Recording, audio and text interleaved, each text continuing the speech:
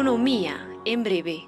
La empresa de cemento que está siendo construida por parte del CEDEM en el departamento de Oruro tiene un avance del 68% y comenzará a funcionar en 2018. Conozcamos más de esta planta. Con un avance general del 68% y 46% en la construcción, la planta industrial de la empresa público-productiva de cementos de Bolivia, S-Bol, ubicada en la comunidad Jerullo, municipio de Caracollo, distante a 37 kilómetros de Oruro, pasó de ser un terreno de 9 hectáreas desolado y sin una sola infraestructura construida en 2014 a una planta en proceso de construcción en 2017, misma que promete ser la planta más grande de Bolivia y Latinoamérica en pleno funcionamiento para el 2018. Esebol es construida por la empresa número uno en el mundo, como es Policios, teniendo la mejor tecnología alemana, apoyada por la empresa SACIR. Valoriza quien cuenta con una alta calidad en obras civiles de origen europeo, al igual que IMASA, que realiza los trabajos de montaje. A la fecha, los trabajos de implementación y montaje de Esebol generaron 252 empleos directos entre contratistas y subcontratistas. Del total, 119 personas son comunitarios del lugar. Eh, actualmente esta planta tiene una capacidad de 3.000 toneladas de clinker día y eh, está, está, emplazado en un área más o menos de 9 hectáreas y el predio es de unas 37 hectáreas. Contando con la última tecnología, esta planta es totalmente amigable con el medio ambiente, siendo comparada en su funcionamiento con un reloj suizo, al tener que encontrarse muy próxima al yacimiento calcáreo, su principal materia prima. Así como tal, con esta capacidad, tenemos una autonomía de unos 120 años.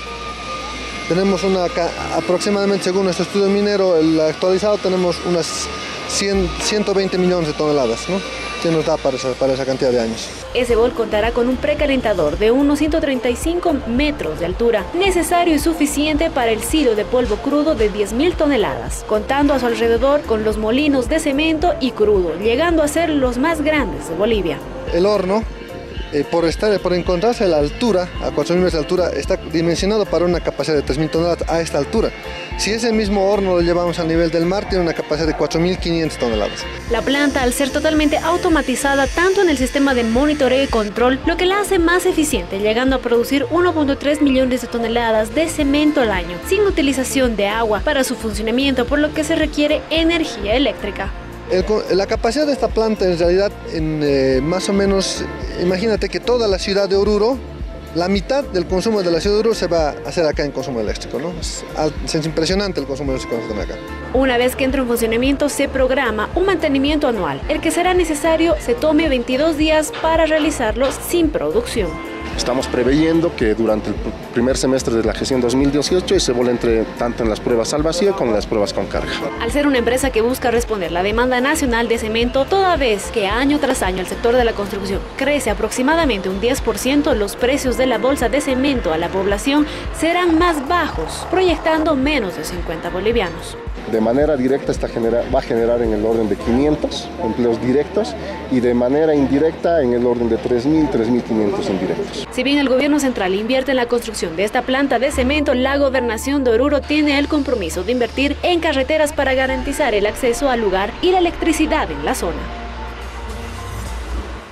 Se espera que con esta planta que se está construyendo en Oruro y la planta de cemento que se iniciará en su construcción en Potosí, se pueda regular el mercado de la bolsa de cemento disminuyendo a menos de 50 bolivianos.